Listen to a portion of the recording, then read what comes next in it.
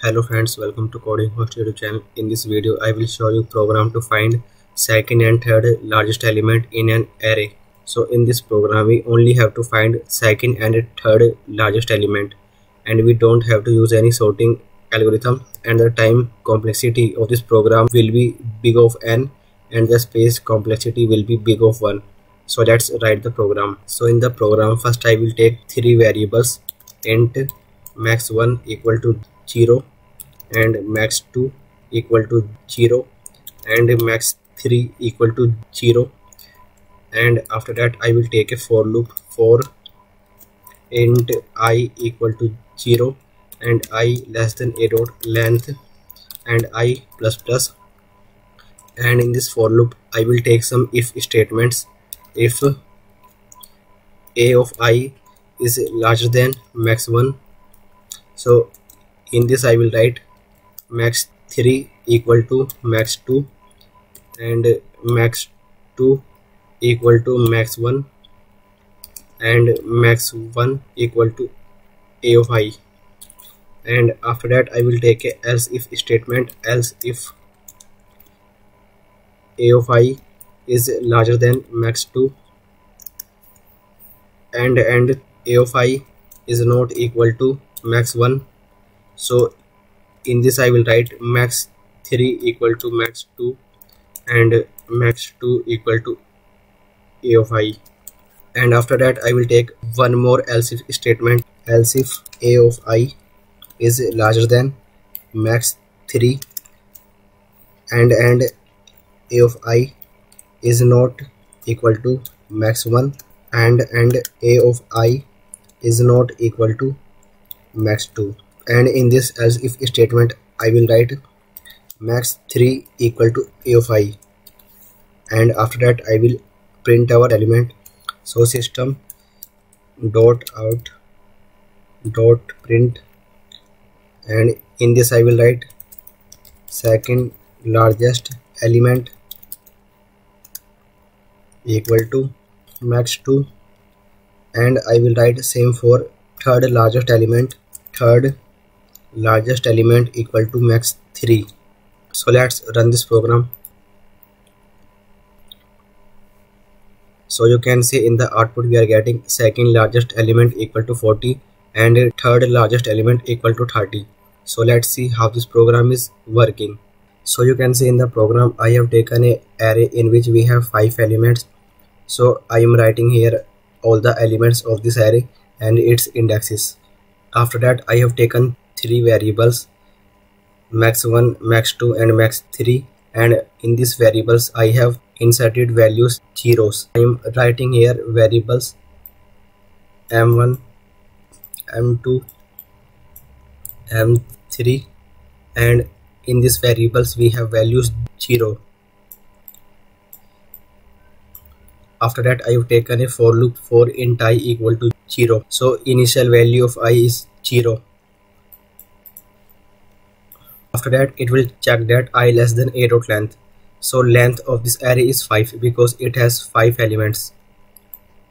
So i is 0 and it is less than 5 just true. And we get inside our loop and here we have a if statement if a of i is larger than max 1 so at index i which is 0 element is 30 so 30 is larger than max 1 because in max 1 we have 0 so this condition is true and it will execute this statement. So first it will insert value of max2 in the max3 variable. So in the max2 variable value is 0 and in the max3 variable value is also 0 so it will remain as it is. After that max2 equal to max1 so in the max1 variable value is also 0 and in the max2 variable value is also 0 so the value remain as it is. After that max1 equal to a of i.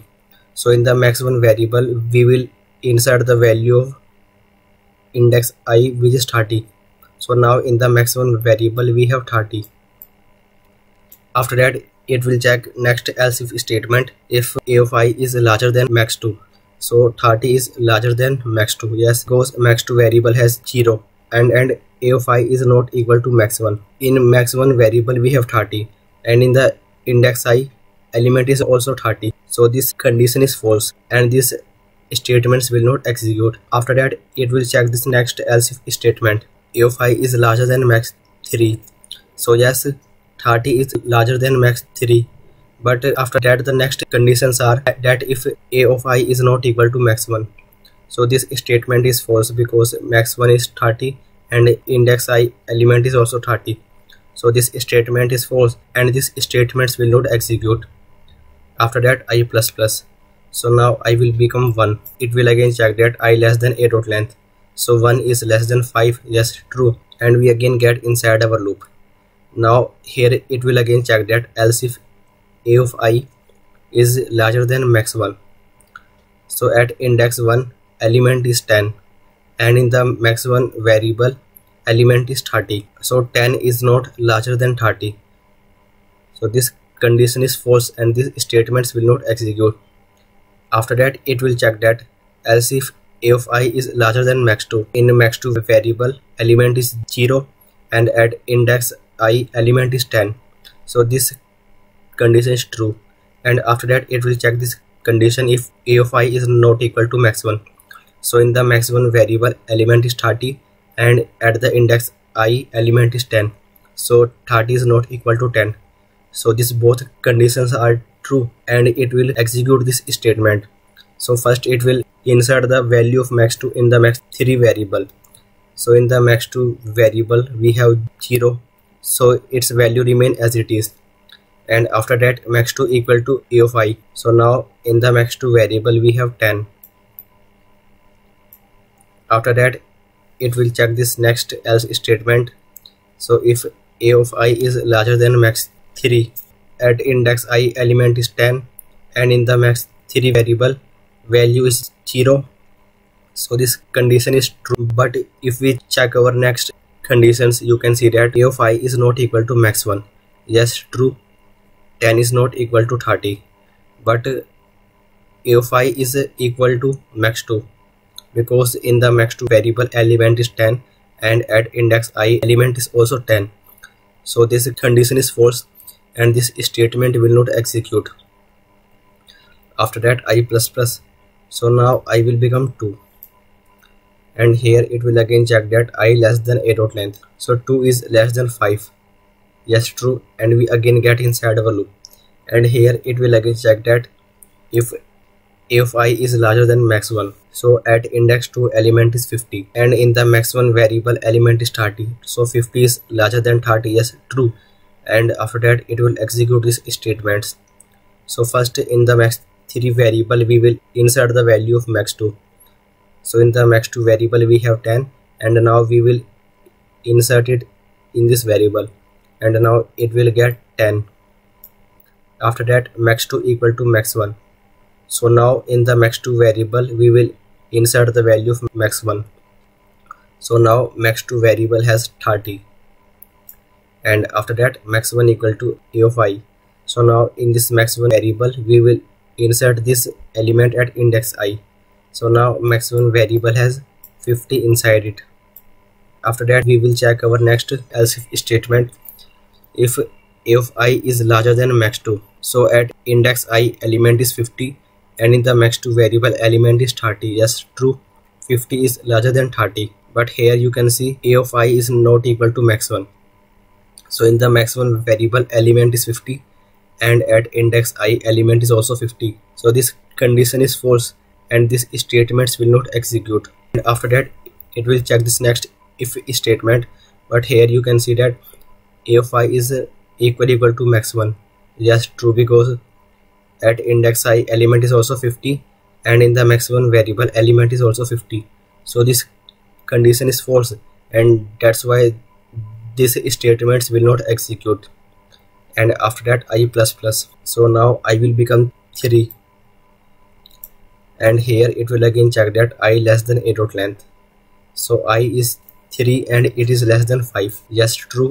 And we again get inside our loop. And here it will check if a of i is larger than max 1 so at index 3 element is 20 and in the max 1 variable element is 50 so 20 is not larger than 50 so this condition is false and this statement will not execute. After that it will check this next if statement.